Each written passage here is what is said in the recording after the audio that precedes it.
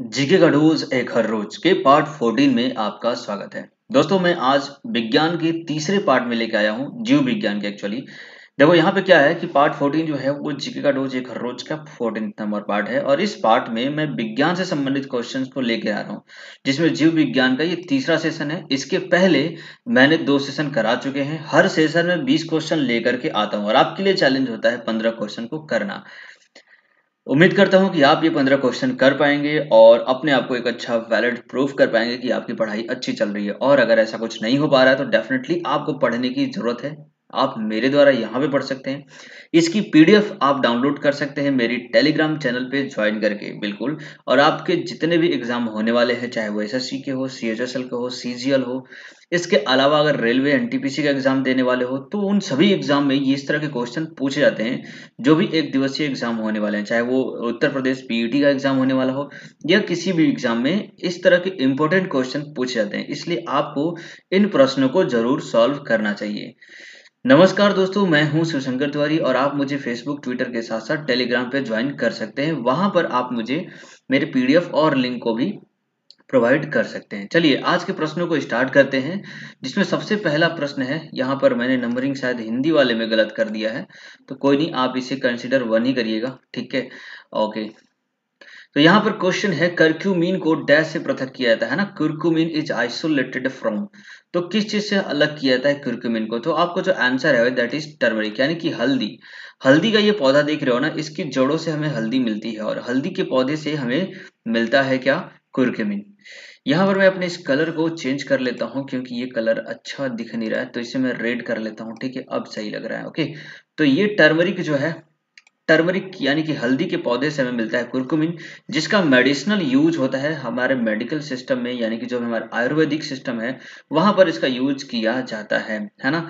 और ये जो इसकी जो करेक्टरिस्टिक है, वो काफ़ी ही ज़्यादा फ़ायदेमंद होती है। बहुत सारी ऐसी बीमारियाँ होती हैं जिसमें इसका यूज़ किया जाता है। साथ में हमारी जो डिशेज है, हमारी जो करी डिशेज हैं, उनमें इसका होना ही होता है। अगर ये ना हो तो सब्ज़ी एकदम से फीकी लगती है और उसको देखने में उसका जो कलर है, बिल्कुल भी अच्छा नहीं लगता। तो येलोविश कलर हमारे खाने को प्रोवाइड कराने में इसका एक बहुत ही बड़ा योगदान होता है। इसलिए ये जो है, एक बढ़िया इंग्रेडिएंट माना जाता है। चलिए सेकंड क्वेश्चन है, उत्सर्जन के प्रकार के आधार पर मनुष्य कैसा प्राणी है है ना? On the basis of excretion type humans are human किस तरह का है? एमोनेटेलिक है यूरियोटेलिक है यूरिक टैलिक है या फिर नॉन ऑफ़ द एबव है। तो आपको पता होना चाहिए जो इंसान होता है वो यूरियोटैलिक होता है। अब यूरियोटैलिक होने का मतलब क्या होता है? देखो यूरियोटैलिक होने का मतलब कि जो इंसान अपना जो एक्जरेशन करता है, जो भी वेस्टेज वो प्रोवाइड करता है, वो यूरिया के फॉर्म में करता है ना? हमारे बॉडी में जो अमोनिया का जो वेस्ट होता है ना, वो लीवर के द्वारा कन्वर्ट कर दिया जाता है। यूरिया के फॉर्म में, क्योंकि यूरिया जो होता है लेस टॉक्सिक होता है। कुछ जो बर्ड्स होती है ना बर्ड्स जो होती हैं, वो यूरोटेलिक होती हैं, है ना? उनका मतलब उनकी बॉडी से जो भी वेस्ट निकलता है, वो कैसा होता है? अमोनिया होता है। बट हमारे बॉडी से जो वेस्ट निकल, जैसे आप स्वेट हो रहा हो, या फिर यूरिन हो रहा हो तो इस तरह की जो चीज़ें होती हैं, उसमें मेनली यूरिया होता है। और इसके अलावा the process of called this ornithine cycle है ना, कि इस प्रोसेस को जो कम, हमारा जो लीवर है, वो अमोनिया को किसमें चेंज कर रहा है? यूरिया में। तो इस प्रोसेस को कहते हैं ornithine cycle actually urea is less than the ammonia ammonia आपको पता होना चाहिए कि एन एच थ्री अमोनिया होता है, ठीक है? और ये काफ़ी ज़्यादा टॉक्सिक होता है। अभी रिसेंट में आपको बहुत बार ऐसा पढ़ने को मिला हुआ कि दिल्ली में जो है जो जमुना रिवर है, उसका रंग काला हो जाता है। इस अमोनिया की वजह से वहाँ पर क्या होता है कि नदी में बहुत सारा झाग निकल आता है, और उस झाग की वजह से वो नदी बिल्कुल दिखाई नहीं देती है और पूरा पानी ढक जाता है तो काफ़ी ज़्यादा हार्मफुल होता है। चलिए, अगला क्वेश्चन है which of the following eye disorder is known as lazy eye है ना? लेजी आई के नाम से किस डिसऑर्डर को जानेंगे? उसे क्या हाइपर मेट्रोपिया कहेंगे मायोपिया प्रेस बायोपिया या एम्ब्लायोपिया मंद दृष्टि, है ना? तो आपको पता होना चाहिए कि देखो, क्या होता है कि लेजी आईज में जो आपकी आँखों का कोऑर्डिनेशन है ना, वो बदल जाता है। एक आँख दूसरी तरफ़, एक आँख कहीं और। मतलब आँख कहीं और देख रही है और आपको दिखाई कहीं और दे रहा है। तो इस तरह की बीमारियों को हम कहते हैं एम्ब्लियोफिया एम्ब्लियोफिया एक तरह का डिज़ीज़ है आई डिसऑर्डर है, जिसमें आपको लेजी आई के नाम से इस बीमारी को जाना जाता है। और एक तरीके से ये कैसा है कि brain fails to process the inputs from one eye and over time favour the other eye है ना? एक आँख के द्वारा जो भी आप रिसेप्ट कर रहे हो, जो भी आप देख रहे हो उनको रिसीव करना माइंड जो हमारा होता है फेल कर जाता है। वो माइंड को उसके द्वारा जो भी इमेज दी जा रही है आई के द्वारा, वो माइंड गेन नहीं कर पाता है। ऐसे में ये एक तरीके का डिसऑर्डर माना जाता है। और आई के कौन से डिसऑर्डर हो सकते हैं? तो आपको पता होगा कि हाइपर मेट्रोपिया यानी दूर दृष्टि दोष, है ना? दूर दृष्टि दोष में क्या होता है? नज़दीक की चीज़ें दिखाई नहीं देती हैं। ये आपको कॉन्सेप्ट ध्यान में रखना है। हाइपर मेट्रोपिया यानी दूर दृष्टि दोष फार साइड इसमें क्या होता है कि दूर की चीज़ें दिखाई नहीं देती हैं। सॉरी, नज़दीक की चीज़ें दिखाई नहीं देती और दूर की चीज़ें दिखाई देती हैं। वही मायोपिया होता है, जिसे हम निकट दृष्टि दोष कहते हैं नियर साइडनेस कहते हैं शॉर्ट साइडनेस कहते हैं, और इसमें क्या होता है कि नज़दीक की चीज़ें दिखाई देती हैं और दूर की चीज़ें दिखाई नहीं देती। उसके अलावा होता है प्रेस बायोपिया प्रेस बायोपिया भी एक तरह की बीमारी होती है, जिसे हम एजिंग ऑफ़ द आई कहते हैं ना। आई के ज़्यादातर ये बूढ़े लोगों में होता है जिनकी उम्र ज़्यादा हो जाती है, जिसकी वजह से वो किसी भी एक ऑब्जेक्ट पे क्लियरली फोकस नहीं कर पाते और वो चीज़ उन्हें धुंधली दिखाई देने लगती है। तो इस तरीके से ये सारी आई डिसऑर्डर होती हैं। इन डिसऑर्डर को कैसे ठीक किया जा सकता है, उसके बारे में भी आपको जानना चाहिए। जैसे हाइपरमेट्रोप यानी दूर दृष्टि दोष होता है तो दूर दृष्टि दोष को उत्तर लेंस से सही किया जाता है ना? उत्तर लेंस से। और वहीं मायोपिया जो होता है, इसको सही करने के लिए अवतल लेंस यानी निकट दृष्टि दोष को हम अवतल लेंस से सही कर सकते हैं कॉन्वेक्स मिरर कॉन्वेक्स लेंस से। ठीक है? और प्रेस बायोफिया के लिए बायोफोकल लेंस का यूज़ किया है जिसकी वजह से इसे भी सही कर दिया जाता है। तो ये सारे डिसऑर्डर है उनको सही करने के तरीके भी आपको पता होना चाहिए। चलिए अगला प्रश्न है पानी में तैरने वाले पक्षियों को क्या कहते हैं ना? आ, उनका फिट कैसा होता है? तो ऑलरेडी आंसर इस टिक है यहाँ पे वेब फिट झिल्लीदार पैर होते हैं उनके। और ऐसा इसलिए हो पाता है क्योंकि वो आसानी से क्या कर सके पानी में तैर सके है ना? तो इसलिए उनके लिए आसानी होता है। चलिए, अगला प्रश्न है हमारा नेक्स्ट प्रश्न। That is which is only internal organ of human body capable of regenerating its loss tissue बिल्कुल, ये बहुत ही इंपॉर्टेंट क्वेश्चन है। बहुत बार एग्ज़ाम में पूछा जाता है और बहुत टाइम लोग कंफ्यूज हो जाते हैं इसमें कि मानव शरीर का ऐसा कौन सा अंग है जिसमें पुनर्उद्भवन की क्षमता होती है ना, पुनर् पुनर्उद्भवन का होने का मतलब कि जैसे आपने छिपकली को देखा होगा ना, अगर छिपकली को आपने कभी देखा है, या फिर ऐसा कभी देखा होगा कि उसके साथ कोई बच्चे शरारते वजह छेड़खाड़ करते हैं तो छिपकली क्या करती है कि अपनी जो पूछ है ना, वो खुद ही काट देती है है ना? अपनी पूछ खुद काट देती है और जो मारने वाला होता है ना, वो उसका ध्यान उसकी पूछ की तरफ़ चला जाता है और छिपकली बढ़ जाती है।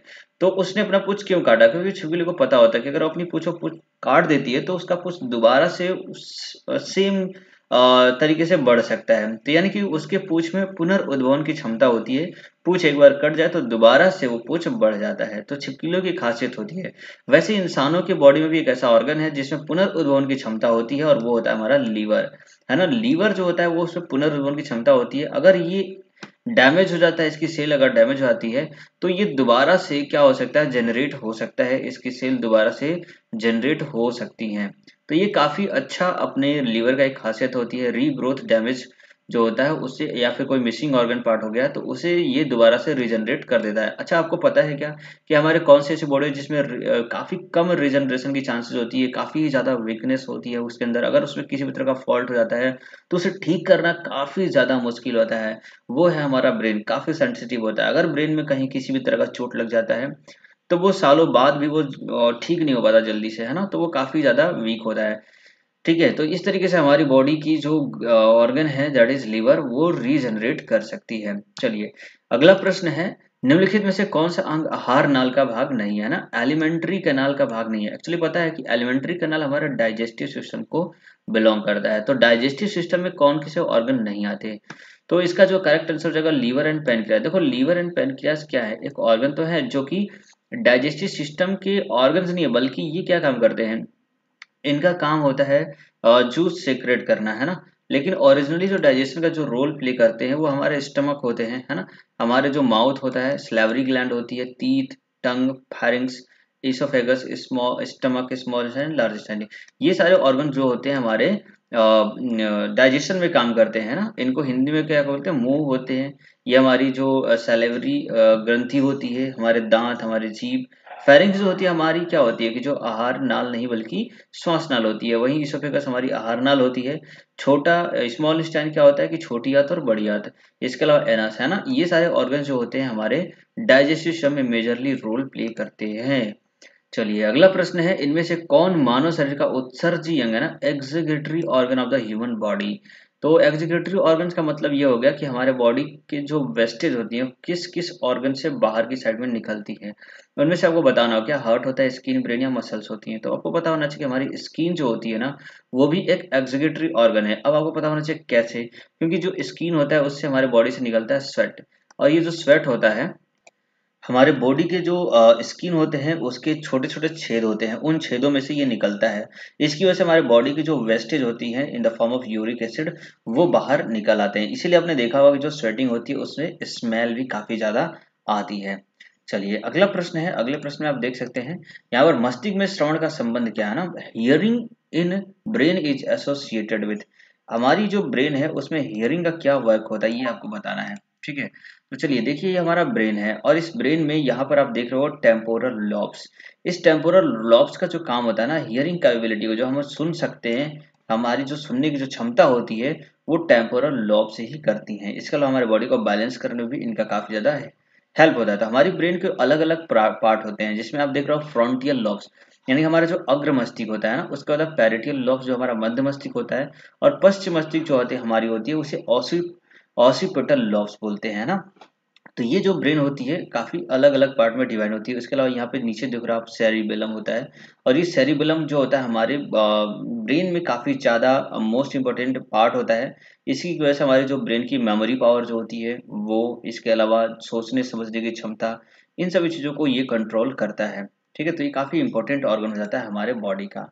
चलिए आगे देखते हैं।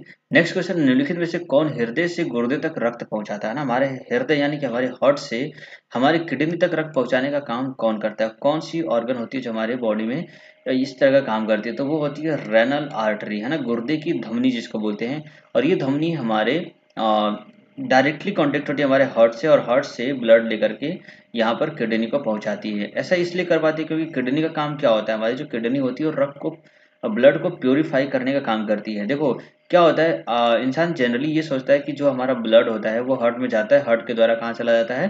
आ, हमारे लंग्स में चला जाता है नहीं कि हमारे फेफड़े में चला जाता है। लेकिन फेफड़े में जो ब्लड होता है ना वो प्योरीफाई नहीं होता। फेफड़े में ब्लड जो होता है वो ऑक्सीजनेटेड और डीऑक्सीजनेटेड है। मतलब कि फेफड़े में जब ब्लड जाता है तो वहाँ पर वो कार्बन डाइऑक्साइड छोड़ देता है।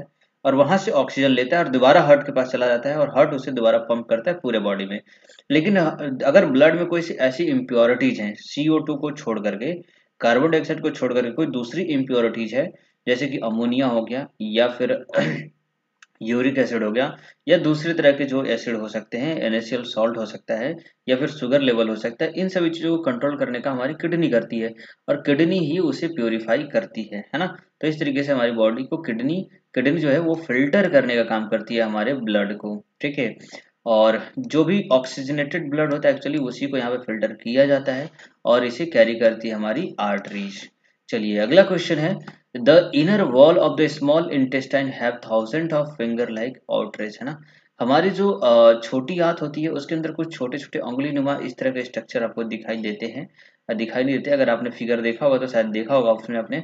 तो इन फिगर्स को हम क्या बोलते हैं ना? इसको हम बोलते हैं विली विली जो होता है विली का काम क्या होता है? हमारे स्मॉल स्टैंड में देखो, आपको पता होगा कि जब हमारा भोजन डाइजेस्ट होता है तो हमारा जो डाइजेशन का जो प्रोसेस होता है, वो माउथ से शुरू हो जाता है। ठीक है, फिर हमारे ऑक्सीफेगस में जाता है, वहाँ से स्टमक में जाता है। स्टमक में वहाँ पे डाइजेस्टिव जूस वहाँ पे मिलता है, फिर उसके बाद वो आगे की तरफ़ जाता है।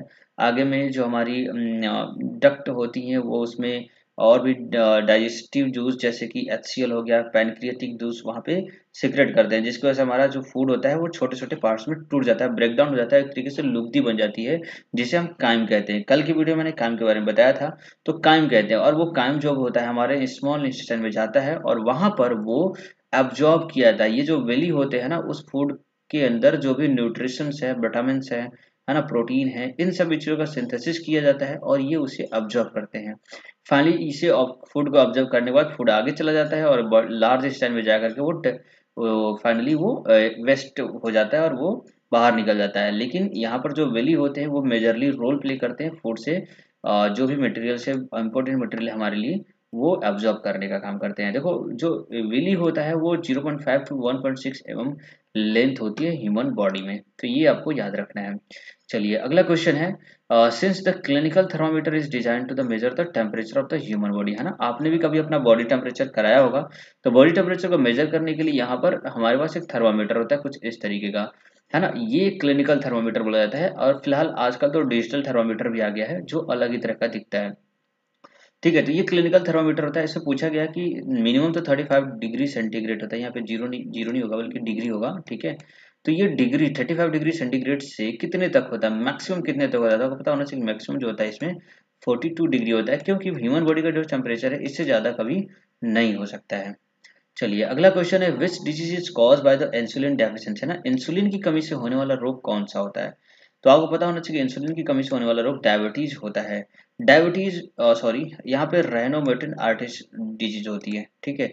इस डिज़ीज़ में क्या होता है कि हमारी जो बोन होती है ना, वो काफ़ी ज़्यादा वीक हो जाती है और इस वीकनेस की वजह से उनमें काफ़ी ज़्यादा मुड़न हो जाता है। जैसे जो बूढ़े लोग होते हैं, उनकी हड्डियाँ मुड़ जाती हैं और ऐसा इसलिए हो पाता है क्योंकि उनकी बॉडी के अंदर इंसुलिन की कमी हो जाती है। इंसुलिन की कमी होने से डायबिटीज़ होता है और डायबिटीज़ जिसको हो जाता है, उसकी बॉडी की हड्डियाँ जो होती हैं, वो टेढ़ी हो जाती है और इसमें होता है कि एक्चुअली देखो स्टेज वन में क्या होता है कि जो बॉडीज को mistakenly attack its own joint है ना? जो बॉडी होता है, वो अपने ज्वाइंट पर अटैक करेगा, क्योंकि उसके पास अब डायबिटीज़ उसके ब्लड में जो शुगर लेवल है, वो बढ़ जाता है।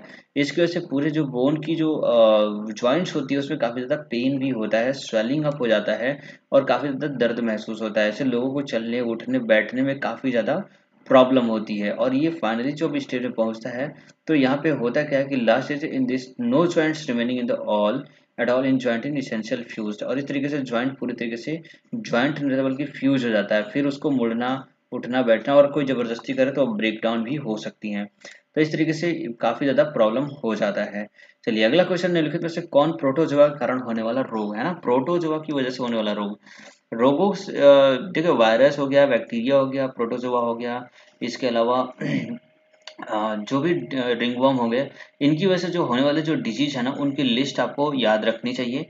लिस्ट में उम्मीद कर रहा हूँ कि कुछ दिनों में आपको मैं प्रोवाइड करा दूँगा किस, की वजह से कौन कौन सा डिज़ीज़ होता है और उसके ऊपर मैं क्वेज भी ज़रूर लेकर के आऊँगा।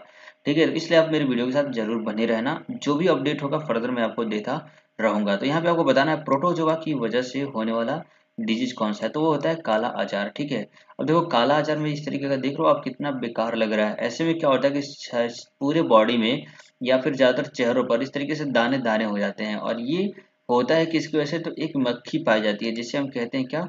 सीसी है ना? ये जो सैंड फ्लाई होती है, ठीक है? ये सैंड फ्लाई होती है और इसकी काटने की वजह से इंसानों में इस तरह की बीमारी होती है। एक्चुअली ये जो डिज़ीज़ होती है, ये सैंड फ्लाई की वजह से होती है। इसके अलावा जो स्मॉल पॉक्स एड्स रेविज होता है, ये सब भी एक तरीके का वायरस से होने वाले डिज़ीज़ हैं। इन सारे डिज़ीज़ को लिस्ट आपको याद रखना चाहिए और आपको पता होना चाहिए। आपको पता होना चाहिए कि जो काला आजार जो डिज़ीज़ है ना, वो भी एक तरह का एंडेमिक था। जैसे अभी के टाइम पे जो हमारा कोरोना वायरस चल रहा है एक तरीके का, ये पैंडमिक है। पैंडमिक इन द सेंस कि पूरे वर्ल्ड वाइड जो डिज़ीज़ फैली हुई है ना, उसे पैंडमिक कहते हैं। एंडेमिक कहते हैं किसी खास लोकल एरियाज़ में या फिर किसी कंट्री में। जैसे कि इंडिया सब कॉन्टिनेंट में इस डिज़ीज़ का काफ़ी ज़्यादा फैला हुआ था। काफ़ी लोग इससे मरे थे। इसके अलावा बांग्लादेश, भूटान इंडिया नेपाल, इन सभी जगहों पर ये डिज़ीज़ का प्रसार हुआ था और ये ऐसा दूसरा सबसे बड़ा किलर साइट बन गया था पूरे विश्व में, जिसकी वजह से इतने सारे लोग मारे गए थे। ठीक है, चलिए अगले क्वेश्चन पे चलते हैं। हमारा अगला प्रश्न है दैट इज़ अभाव्य स्थिति में जैविक सामग्री का जीवाणु अपघटन, है ना? बैक्टीरियल डीकम्पोजिशन है ना? डीकम्पोजिशन इन बायोलॉजिकल मैटर तो डीकम्पोजिशन कैसे हो सकता है? तो यहाँ पे डीकम्पोजिशन होता है फॉर्मेंटेशन है इसे कहते हैं किन्वन फर्मेंटेशन यानी कि किन्वन किन्वन में क्या होता है? देखो, आपको बताता हूँ। किन्वन में क्या होता है कि जो भी चीज़ें होती है एक्चुअली उनको सड़ाया जाता है और बैक्टीरिया की हेल्प से उसे डिकम्पोज किया जाता है। जैसे आपने देखा होगा कि अगर आपके घर में कभी इडली वगैरह बना होगा तो आपने नोटिस किया होगा कि उसके मैदे को जो होता है ना, उसको सड़ाया जाता है। ठीक है?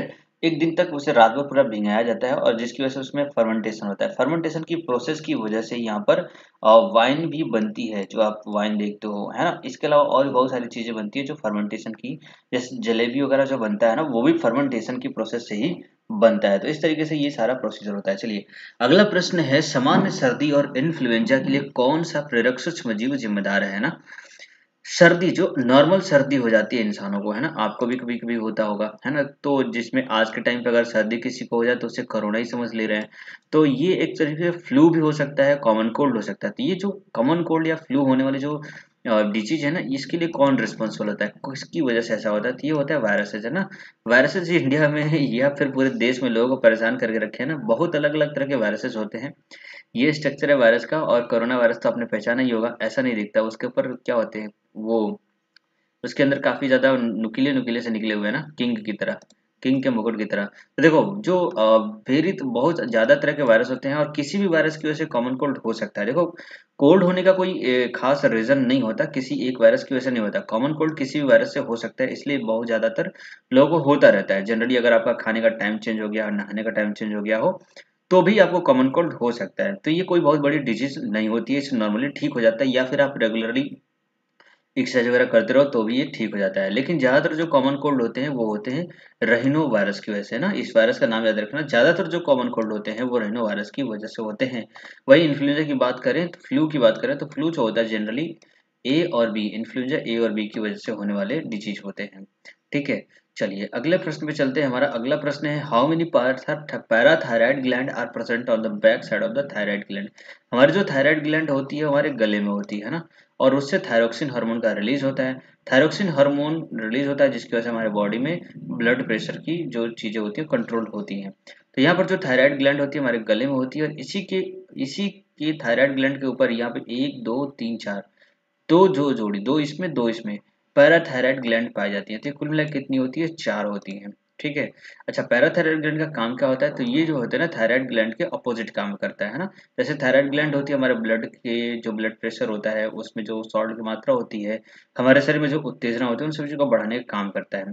इसी तरीके से जो पैराथायराइड होती है, इसके अपोजिट काम करती है, ठीक है?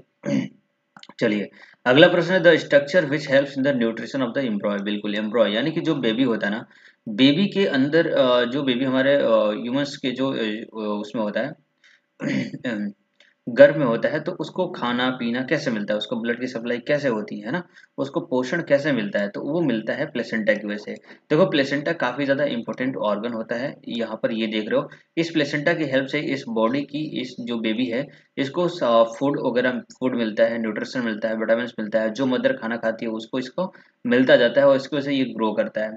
ठीक है, ये जो आप देख रहे हो ना, ये लॉब इसकी, ये भी जो होता है, ये बॉडी को कनेक्ट करता है बेबी को और इसकी वजह से इसे ब्लड की सप्लाई होती है। तो कहीं ना कहीं बेबी जो होता है, वो टोटली माँ के ओवरी से कनेक्टेड होता है।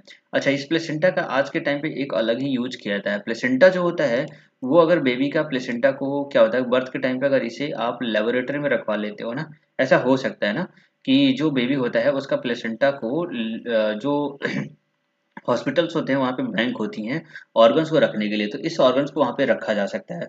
और अगर इन द फ्यूचर कभी बेबी को किसी भी ऑर्गन डिसऑर्डर होता है, जैसे मान लो लीवर खराब हो गया या फिर किडनी में कोई प्रॉब्लम हो गई या फिर हार्ट में फेलर हो गया तो इसकी क्या किया जा सकता है? इस प्लेसेंटा का यूज़ करके न्यू ऑर्गन्स बनाए जा सकते हैं और उस न्यू ऑर्गन को दोबारा इस बेबी में फिट किया जा सकता है। तो इस तरीके से वैज्ञानिकों ने एक काफ़ी अच्छी चीज़ यहाँ पे निकाल के रखी है। ठीक है? अच्छा मैंने बता दिया कि वो एम्बेलिकल कॉर्ड बोला जाता है। ये जो आप देख रहे हो ना यहाँ पर मैं आपको दिखाता हूँ। ये जो नव आप देख रहे हो ना, इसे हम बोलते हैं क्या? एम्बेलिकल कॉर्ड जो बेबी को मदर के ओवरी से कनेक्ट करके रहता है, उसको ब्लड वगैरह सप्लाई कराता रहता है। चलिए, अगला प्रश्न है what are the three primary nutrition needed for the plant growth है ना? प्लांट को ग्रो करने के लिए तीन ऐसे ज़रूरी कौन से न्यूट्रिशन होना चाहिए? तब जाकर प्लांट एक अच्छे से ग्रो कर पाता है तो उसमें आपको पता होना चाहिए एन पी के है ना? एन पी के आप अगर देखे होंगे, कभी जो भी गाँव में खेतों में जब फर्टिलाइज़र डाला जाता है ना तो उस फर्टिलाइज़र की जो बोरी होती है ना उस पर एन पी के लिखा होता है ना। अब इस एन पी के का क्या मतलब होता है? एन से होता है नाइट्रोजन पी से होता है फास्फोरस और के से होता है क्या? पोटेशियम ठीक है? तो नाइट्रोजन फॉस्फोरस और पोटेशियम ये तीन चीज़ें होती हैं जो आ, किसी भी प्लांट को ग्रो करने के लिए काफ़ी ज़्यादा ज़रूरी होता है। एक्चुअली जो नाइट्रोजन फॉस्फोरस पोटेशियम होता है वो एसेंशियल होते हैं। और इसमें से जो नाइट्रोजन होता है ना वो उसके फोटोसिंथेसिस में काफ़ी ज़्यादा हेल्प करता है। प्लांट फोटोसिंथेसिस करते हैं, आपको पता होगा कि फोटोसिंथेसिस के प्रोसेस में ही कार्बन डाइऑक्साइड प्लांट लेते हैं और ऑक्सीजन को छोड़ते हैं, जो कि काफ़ी ज़्यादा इंपॉर्टेंट होता है और अपना खाना बना लेते हैं। तो उसमें जो उनकी सबसे ज़्यादा हेल्प होती है वो नाइट्रोजन के द्वारा होती है। इसके अलावा जो प्लांट टिश्यू होते हैं और जो पोटेशियम होते हैं, वो प्लांट के रेगुलेशन सी अपटेक वगैरह में हेल्प करते हैं। चलिए, अगला प्रश्न है जो कि आखिरी दूसरा सवाल है और इसमें आपसे पूछा गया कि पौधों के निम्नलिखित में से किस विभाग का शरीर सुभिन्न पूर्णता नहीं है है ना? Which of the following division is plant does not have a well differentiated body? Well differentiated body होने का मतलब कि वो पूरी तरीके से डेवलप्ड नहीं है, जितने ऑर्गन्स होने चाहिए वो नहीं होते हैं। ऐसे ज़्यादातर जो प्लांट होते हैं ना, वो एम्फीबियंस ही होते हैं, जिनके अंदर अगर वो ग्रीन है तो मे बी उनके अंदर ऐसी वॉल्व नहीं होगी, जैसे कि जालम और फ़िल्म की बात करते हैं, जिसकी वजह से वाटर को स्टोर कर सकें या फिर वाटर को वो कैरी आउट कर सकें।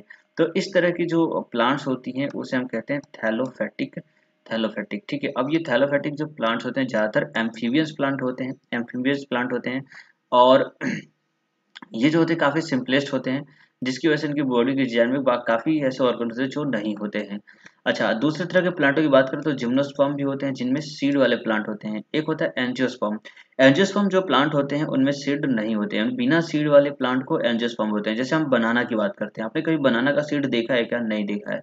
क्योंकि बनाना का जो प्रोपोगेशन होता है ना वो किसकी वजह से होता है? तो उनको प्लांट को कट करके उसे दोबारा से लगा दिया जाता है, जिसकी वजह से वो लग जाता है है ना? और वैसे ही अगर गन्ने की बात करें तो गन्ने का भी सीड नहीं होता। गन्ना की लगाने के लिए गन्ने को ही काट करके ज़मीन में लगा दिया जाता है। तो इस तरह की, इस तरह के जो प्लांट होते हैं, इसे एंजियोस्पर्म बोलते हैं। और जिसमें प्लांट में जिसमें सीड पाया जाता है, जैसे कि आप आप बात करते हो किसकी जैसे मैंगो की हो गया, बहुत सारे ऐसे प्लांट हो गए जिनमें सीड होते हैं तो जिम्नोस्पर्म बोलते हैं, ठीक है? तो ये सारी चीज़ें होगी अगला प्रश्न है, काफ़ी इंपॉर्टेंट है और इसके बारे में आपको जानना चाहिए। ये हमारे हमारी जो हमारी जो धारणाएँ हैं, हमारे जो गलत हैबिट्स हैं अकॉर्डिंग टू एनिमल को लेकर के और प्लांट्स को काटने की वजह से, जंगलों को काटने की वजह से, बहुत सारे ऐसे एनिमल होते हैं जो एक्सटिंक्ट हो जाते हैं ना? तो आपको बताना है कि मनुष्य की हस्तक्षेप से प्रजातियों के विलुप्त होने वाले का सबसे अच्छा उदाहरण कौन सा जीव है, जो मनुष्य की हस्तक्षेप की वजह से विलुप्त हो गया?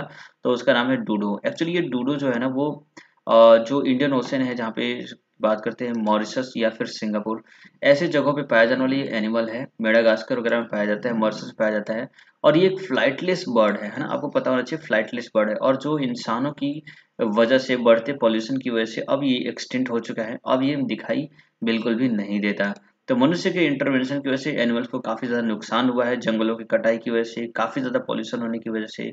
और दूसरे शब्दों में कहा जाए तो जो भी रेडिएशंस होती हैं, उनकी वजह से भी एनिमल्स काफ़ी ज़्यादा हार्मफुल हुए हैं। ऐसे में वो धीरे धीरे विलुप्त तो हो रहे हैं। तो हमें क्या करना चाहिए? प्लांट्स लगाना चाहिए और एनिमल को सेव करने की कोशिश करनी चाहिए। तो ये था आज का आखिरी सवाल। Thanks for watching till the end of this video उम्मीद करता हूँ ये वीडियो आपको बहुत ज़्यादा पसंद आया होगा। अगर ऐसा है तो आप इसे ज़रूर लाइक कर दीजिए और अपने फ्रेंड के साथ ज़रूर शेयर करिएगा। सब्सक्राइब नहीं किया तो इसे सब्सक्राइब अभी कर दीजिए, क्योंकि जैसी हमारी वीडियो अपलोड होगी, उसका नोटिफिकेशन आपको मिल जाएगा। और अपने दोस्तों को भी ऐसा बोलिए बेल आइकन को भी प्रेस कर दीजिएगा। आपका दिन शुभ रहे। जय हिंद, जय भारत।